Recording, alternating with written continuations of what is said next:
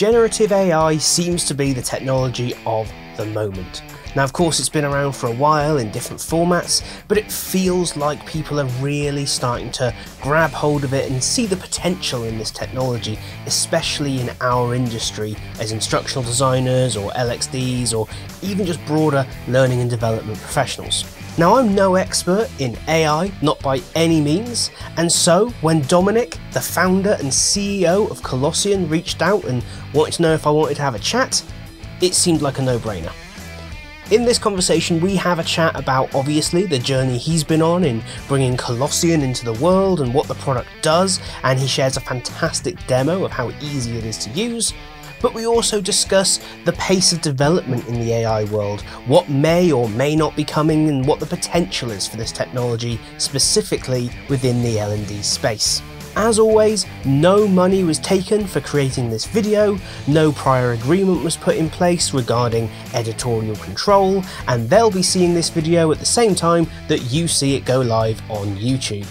That said, Dominik was fantastic for giving his time the day before the World of Learning Summit and on the day of a massive announcement for his company to come and have a chat, share his knowledge and experience both in the L&D space and the AI space and show us how this fantastic piece of technology can save us time and energy moving forwards. But I'll let you make those determinations for yourself. Without further ado, let's jump into the conversation. Hey, thanks so much for uh, for joining me this morning. I know you're super busy. Um, for those watching this later, it is the day before World of Learning, um, so everyone is running around doing a million things. So thank you so much for taking the time to uh, to come and speak to us. Um, do you know what? Usually I do a big spiel at the beginning of videos, um, but they'll already have heard what I'm here to get out of this conversation. Let's hand over to you. How did we get to where we are today?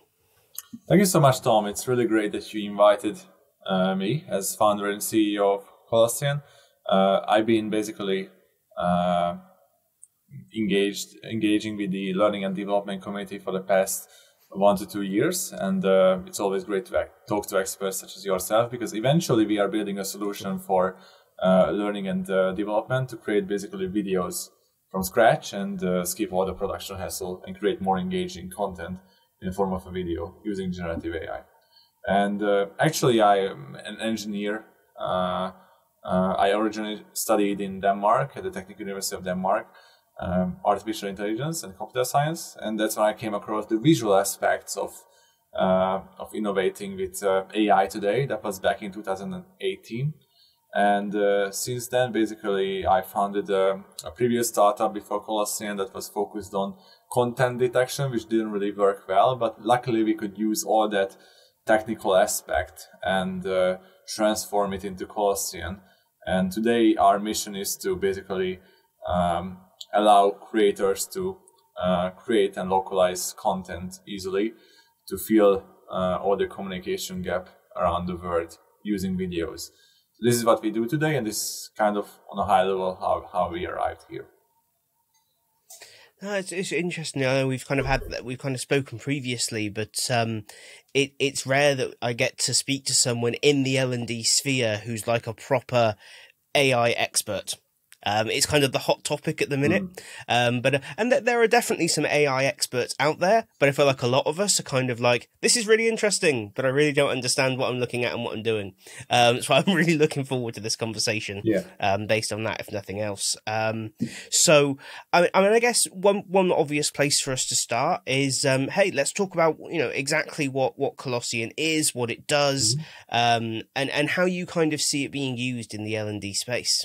Absolutely. So basically, Colossyan, uh, uh, at Colossyan, we, we are a deep technology uh, company, meaning that we are creating technology for the benefit of uh, learning and development uh, uh, creators. And we created a product called Colossyan Creator, and it allows you to create videos within minutes instead of weeks of recording a video in a studio. You just uh, write your text or just copy paste this from somewhere and uh, and uh, you can choose an AI presenter that's an actual living being, uh, a human being, and uh, that uh, that presenter is going to say whatever you typed, and this way you can create all kinds of sales enablement, compliance, onboarding, and further learning and training videos for for your audience. And the eventual value proposition is the time that we save for you, the cost that you can save by skipping the studio related expenses, and also the fact that you can easily localize content. We have capabilities that can translate your video end to end from a given language to another, and they're just uh, a very powerful way of uh, of uh, creating videos using this innovative technology. Yeah, Joe, it's always fascinating. We have a lot of conversation about this being a kind of um, like I'm a big fan of using video and learning, uh, as this channel kind of suggests. Um, and I feel like there's a lot of conversation. Especially, I spoke to people about doing this this conversation. People were quite surprised um, about it being a kind of I don't know almost some kind of conflict. Like it's got to be real video against AI video. Mm. Um, but I think actually what you, sort of what you just said there is is actually the point in that it's not about replacement; it's about finding efficiency and about you know when it's the right tool for the job. Um, Indeed, and it's like, also about replacing text because uh, most of the yes. current uh, training is in a textual format. People are just uh, moving towards more of a micro learning direction. They also want to consume content on their phone, and uh, this allows you to not just have text but also video uh, that you can easily put together with the text. Uh, and we are aware of all the trends that COVID started uh, within L&D, right? Digital, digitalization and and uh, the new generation primarily consumes video. So this way you can basically you don't have to replace your existing traditional videos, but you can start with the text, right? This is exactly it. And I think I'm working with some clients at the minute about um, knowledge base mm-hmm. stuff. And they were like, oh, it'd be great if we could transfer the knowledge base. So it was, yes, a written article, but also a video. That is like, well, here's what that will cost to put someone in front of a camera. You'll mm-hmm. be there for like two months. There'll be a lot of editing, and the cost will be astronomical. Yeah. Um, but there's no benefit in that scenario to to doing that versus using an AI tool. It's kind of like the perfect solution, really. Um, so tell you what, we've kind of spoken about it a, a good bit there, and maybe where it might be useful. Um, do Do you want to show us the tool and? Um, yeah, I can definitely can walk through that. But this is called Colossyan Creator. We um, aimed at creating an interface that can be easily used by people who have no technological or video editing experience. You can import all your existing materials to create a video, but let's just create a new draft today. And here we already have three options to start from. Uh, initially, let's just start from scratch here. Uh, you see an actor on the right side and the script box on the left one. I can type here anything in 70 plus languages. So we can start with welcome to this compliance training video. I hope you will enjoy it. And now we just type this piece and uh, we can already preview our video. Welcome to this compliance training video. I hope you will enjoy and it. you see that the actor's mouth is not moving yet. Uh, that happens when you generate the video because that's when our AI uh, algorithms kick in. And that's how we transform this existing sound wave that you heard into lip and facial movements of the actor that you see here, which is a real person actually. Let me just show you quickly a, a real uh, like uh, looking video. This one is this is the this is one I created for Procter and Gamble recently, who uses Colossyan for internal training and development. Welcome to this presentation. Thanks for inviting Colossyan to showcase their product at the Global Sales Summit. Omar has mentioned that Procter & Gamble sales capability leaders are truly interested so in You see that the actor's mouth is moving just according to the way uh, uh, you mm. type the text. And here comes one of the greatest aspects. You may have heard that the actor or the guy here talked about sales summit, not marketing summit. So you can just click on edit draft and you can go back to your existing video and you can basically change uh, uh, change the, the words here. So if you if it says marketing, then you can change it to sales and vice versa. Uh, so the good thing here is that once you produce a video using traditional methods, and it gets outdated, then you are done there. But with Colossyan, you can just go back to existing content and replace words or sentences or even paragraphs and reuse that content. So this is the eventual benefits. Um, Fantastic. for further features, And I'm just sorry, just to go back, sorry, I, I'm guessing the reason that you do the the preview in the editor and then you only do the mouth movement when you generate is to keep the kind of um, like the real time rendering time low, so that you can be creating pretty rapidly rather than having to create and wait for it to render exactly exactly. so out. we are adding more and more preview capabilities. Of course in the future we plan to also feature the lip syncing in the preview but for now due to technological constraints it's not possible. Um, and I'm guessing if there's that will keep the um, keep the actual strain on the local machine pretty low as well in terms of like working uh, sort of working capacity. It's not going to take up a load of um, you know uh, quite often with tools like if you did this manually, let's say in some form of animation software like um, After Effects, let's say. Um, you know, you've got to have a heck of a machine to do it. oh yeah Um, and be able and to this is play full through it. cloud based so you don't, you don't have to do any rendering and if you do a regular video you are used to the fact that videos have to render right? And uh, it's the same Yep. for us. So uh, there's a rendering step.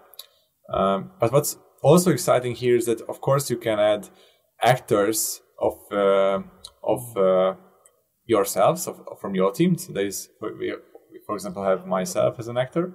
So you can add anyone from your team. And we have an ever growing um library of uh, all kinds of actors um, for some, you can change the clothing, so you can also reduce the repetition of your videos. So that's really powerful. And uh, for some, you can also change the uh, facial uh, movements and the facial characteristics. So you can make, for example, look, behave excited or even serious. Wow, that's so. So that's possible for sort of any user to do is to have the, their own characters created and put into it, like their, you know, their, I don't know, their head of sales or head of customer services or whatever it might be. Exactly, exactly. That's that's uh, exactly right. And um, also with the with the current trend of ChatGPT, we are aware of the power of capabilities using um, uh, text-based uh, solutions powered by AI. So we are the first uh, company in the text-to-video space to also feature an AI assistant that you can see here. And this AI assistant can uh, basically just uh, create also the script for you. So if you want uh, it to create uh, maybe um, you can you can type you can type it to create a script about compliance training, and we can just click here. And you see that uh, the text is being created. So you don't have to start from scratch. You can have uh, all the uh, all these examples and uh, you can use it in your videos. If you need some uh, creative ideas, you can just use this text. You see that it's already here and you can just edit our video accordingly. First, let's talk about the importance of compliance. Maybe we can delete this paragraph so we fit into the character limit and now we have a script for our video, given that we review it, of course.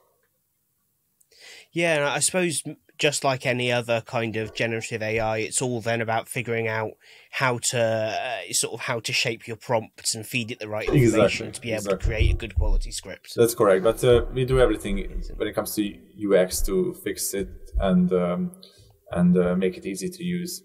Um, and as you may have seen, we also have a way to just give a prompt, and also the prompt will create a video for you end to end. This is just the AI script writing assistant. Um, and maybe as a as a, one of the final examples, let me just share you uh, the true power of localization using Colossyan. This is one of my favorite features because I know that so many people in many parts of the world don't speak English, so they you have to create like content that's localized to their native language.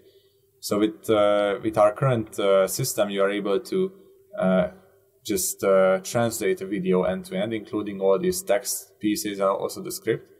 So we can translate this to German. This is a more complex video, so it's exciting to see the results, of course, and also to French, let's say. So you see that the script and also the text were translated to a given language. And we can just preview this, and you will hear the French uh, voice speaking.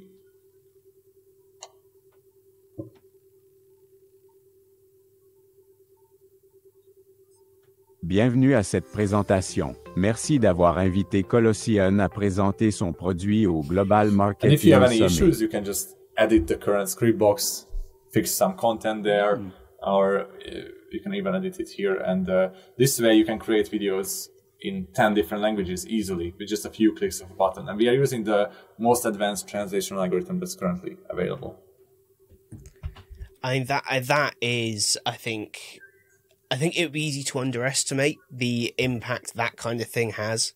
Um, but I, I think certainly I've worked with clients where it's like, okay, video is always a dangerous option because there are, I don't know, six languages for every piece of content. So the cost is huge or the development time is huge. The fact that not only do you allow for variants of language, but the translation is automatic.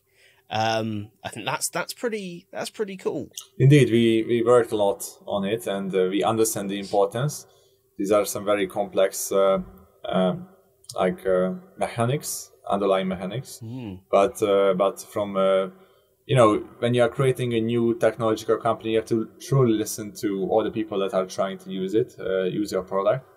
And we understood the importance of translation. We just wanted to make sure that the lives of our um, we, we call our users creators because we don't like the word user. Creator is like much more positive in our in our view, and uh, and our creators actually they they face so much issues as you said with translation, and and uh, hopefully with this capability that we have today, and we see it, uh, the whole work- workflow is just easier and uh, more content can be created with the same level of quality. And uh, thus the audience can be more engaged and more learning and and and uh, training goals can be met No, I think it's, it's, it's, it's always interesting with these kind of things because I think for a lot of us, um, it was always kind of the case that AI was a technology that was constantly developing. But I think a lot of the major developments kind of happened without all of us seeing it. You know, those that were in the industry very much knew what was coming our way. I don't think we quite got it until very recently. Um, and it feels like now, kind of, you know, there's, there's 101 conversations going on about AI. Um, but I feel like what we often lack is that, and here's how it makes genuinely our job easier or our learners' experience better. Um, and this is a great example, whether it's the translation, the ability to change the character after the fact, all those things, or just the efficiency from a from a creator perspective um, of how it's genuinely making our lives a little bit easier or a little bit better uh, in terms of the learner experience. Um, so I, I guess one one question I do have is um, from a, a, a kind of um, I don't know, I guess what's the right word? Um, a kind of deployment perspective. Um, is, is this something that's gonna, you know, is is there more to come, or is this kind of like the technology is now here and this is what it does, and this is kind of as much as we can expect at the moment? you are asking whether i'm is. whether i'm aware of any further advancements that's not out on the market yet right uh, is is is that what your primary interest Yeah, I guess, well, or maybe like you know, for instance, where we are now, you you know, it, let's look if we just Colossyan, it's able to write the script, record the audio, generate generate the movement for the character. Um, I can localize it. Um, is there is there anything more to more to come? I guess. I mean, what what what else is the potential here? Yeah, so you know we have like lots of great ideas, but uh, but uh, these require like very complex uh, technological investments. Um, um, for example, one of my favorites is uh, the fact that you will be able to control uh, also the body movement, uh, maybe based on the script. So this way you can uh, create uh, videos for, let's say, deaf people who cannot hear. Uh, so you can use like sign language with the act- actors. That would be like groundbreaking in my opinion, because then you could basically all the videos you create, you can support also sign language with them, and this would just open a whole world of possibilities uh, to talk to a, an audience which was always like ignored before or, just uh, deprioritized, right? And I I love that. That's I feel like that's such an.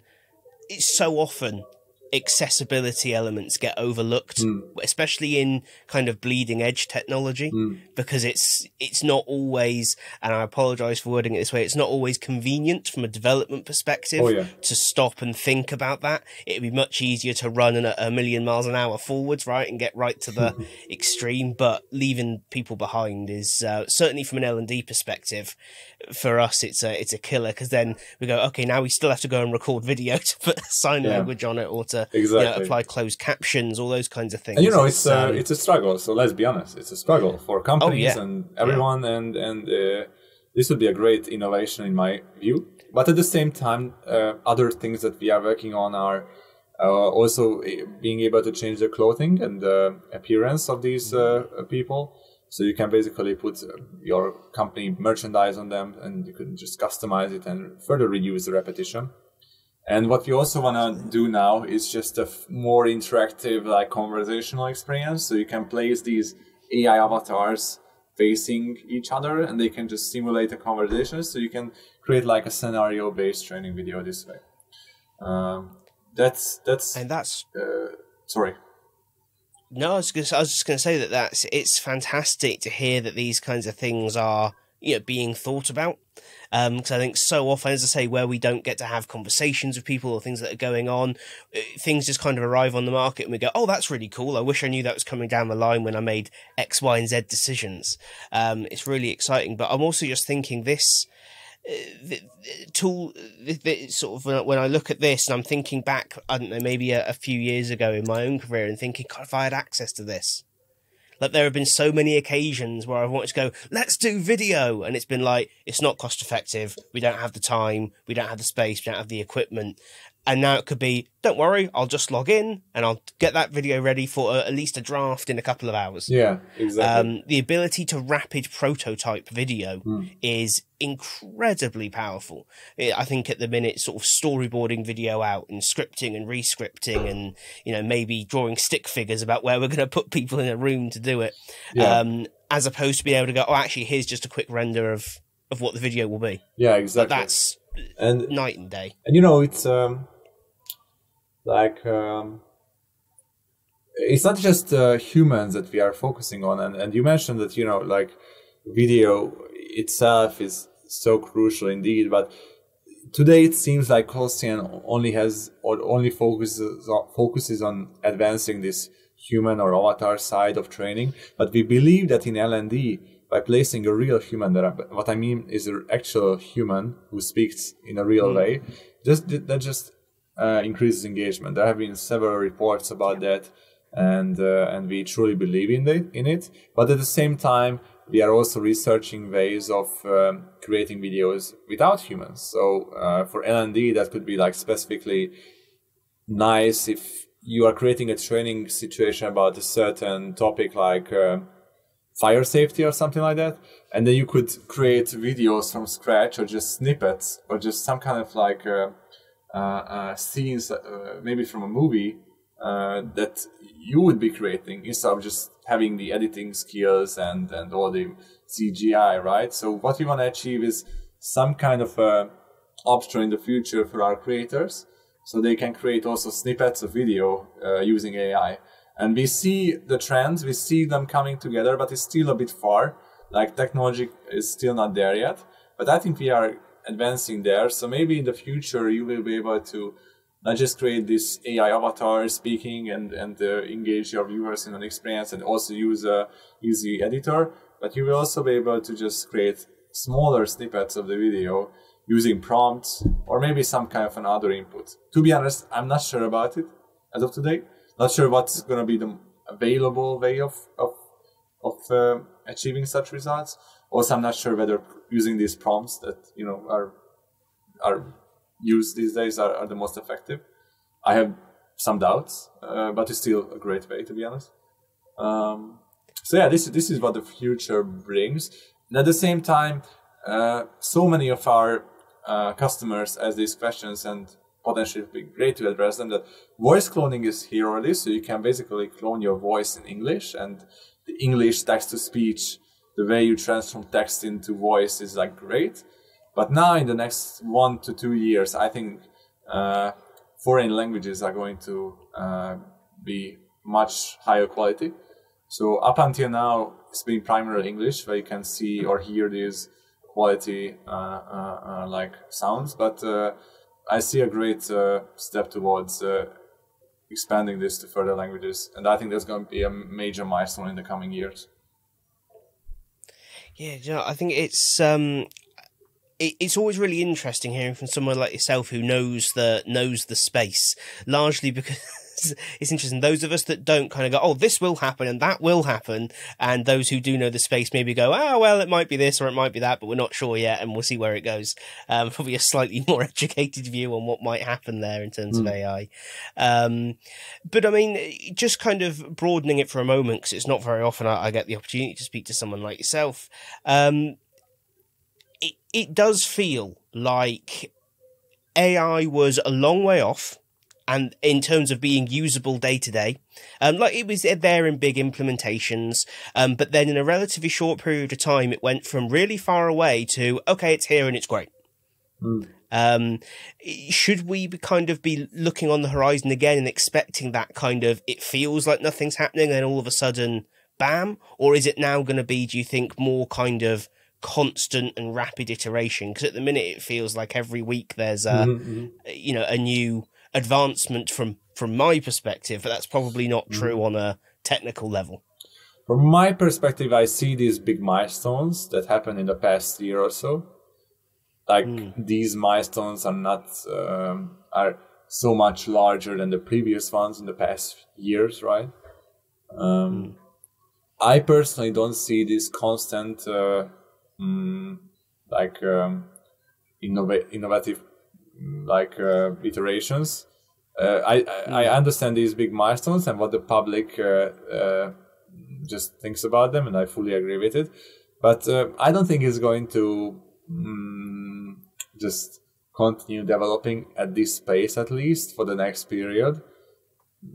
It might slow down for the general public, and maybe in 16 or 18 or maybe 12 months' time, there will be another big thing, another big innovation. But that's just how things uh, work. But I don't see it happening every month or so from now on. Uh, if, yeah. if, that answers your question. Um, from from our perspective, Absolutely. what's required for these videos uh, or for our solution, uh, there were not so many things coming out in the past years, to be honest.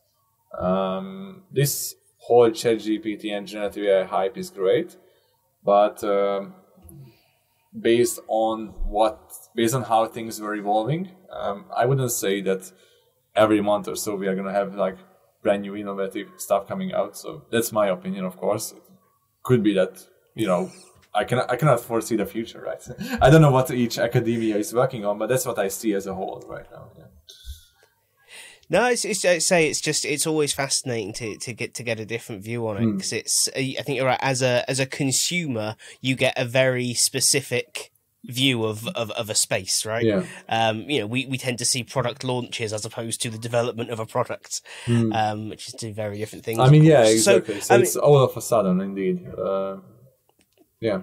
I guess, I guess it feels that way for us. I'm sure those mm. that have worked in the space, they're going, no, we've been working on this for years. Like it, yeah. it's just a constant. Right? I mean, exactly. Um, for us um, as well. Like so many people are so fascinated, but you know, mm. I'm, I'm not saying I'm bored. It's simply just I, I've been I've been working on this for the past four years, uh, every day and uh, and every other day or so, and uh, it's just something that you get used to. And um, I think all the people who've been using it for quite some time, they get used to it as well. But this it's still it's still I think it's the reason for this is because it's just breaking um, the you know the interesting aspect of a technology that that uh, enters uh, the market is that it has these waves of adoption and we are just mm. seeing these waves as they approach uh, new and new market segments and uh, people experience it. It's similar to the internet or just major technological revolutions. Of course i don't think it's that it's that big but it's still just um, a similar effect right? And uh, it's very interesting to see it. But um, I'm not sure whether we can keep up with this uh, level of surprises, right? Because all the people are so surprised. Wow, you can do this now, and it's so realistic. I'm not sure whether we can release something in six or twelve months time that will have this big of a surprise factor, which is fine, of course, but just a, a general new thing. Yeah, no, I think it, I think the danger is if you try and do that, and let's face it, industries have tried to do that, they still do. You they kind of end up releasing like novelty features Mm. that aren't useful. They're just going, look, we launched a thing because we have to, because we promised we'd launch a new thing every month. Mm. Um, I know in L and D we we get a lot of that Okay. from a lot of authoring tools going, we made a thing, and we're like, no one asked for that. That's not useful. I see. Um, could you fix this thing that's been broken for a year? No, we're releasing this new exciting feature. It's like, oh dear. Um, whereas I think, yeah, when, when we when we look at tools like this, you kind of go, when you even just the interface of what you were showing us. There were, you know, I, I, I'm I'm a big fan of going. I should be able to look at your tool and be able to see how to use it. Um, if I have to receive like a week's training, then you've designed it badly. Um, you know, Exactly. um, so I think you know, from from a user perspective, if if the argument is effective and efficient, um, and it's just going to make your your creator experience easier, um, then you don't want it changing every month, two months, six months. I mean, yeah. you want a you want a platform you can rely on. You want cool stuff available to you when it's available. Mhm. Like if there's something meaningful, what you don't want is the I don't know the render button jumping around the screen every other month. Just Yeah. just saying, there might be a very popular video editor that keeps moving things Mm. through different menus. Um, but yes, no, I think that it's it's really exciting. So I guess we're, we're coming up on the end of our time. Um, but what one question I'd really like to ask is in terms of um, you know the L and D toolkit. I always talk about what what we as instructional designers or e-learning developers have as our toolkit. Mhm. Um, where do you where do you kind of see people getting the most value out of this tool? Where is it going to be the the obvious choice? If I'm working on what kind of project right now, why should I kind of rush to the website, as it were? I primarily recommend um, compliance training, uh, onboarding, really important because in onboarding you see lots of thing, lots of aspects of the onboarding change, so you can just go back and edit these kinds of videos easily. Uh, not even mentioning the lo- localization part. And uh, sales enablement is extremely popular. All kind of scenario-based training videos with multiple actors. Um, um, there are these diversity inclusion videos as well, as far as I know. Uh, those are really popular too in, in the R&D space.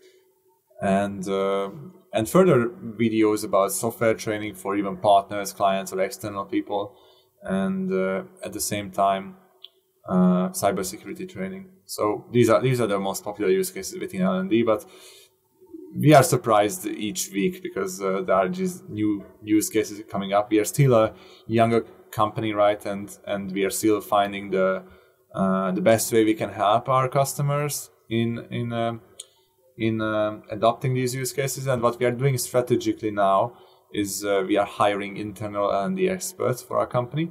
Uh, so they can help uh, with the adoption of our product for L&D. We fully want to immerse ourselves in the field, and um, we also want to understand all the effects and impacts we can uh, leave on our, on our customers using our solution. So for that, um, we are hand holding them and, and helping them to uh, create much better learning content than before. Well, I, I I just want to say thank you so much for taking the time to talk to us. Um, for those watching, um, I you know there is a there's an option to create um, some free video on the website. Um, I would like really wholeheartedly suggest go and take a look. Um, I did. I was really impressed. Um, thus, thus we're having this conversation. Um, so uh, there's a link to the website in uh, in the description of this video. Go check it out. It is well well worth the time. Um, Dominik, thank you so much for taking the time Thank to you so to much, us, especially on such a busy day.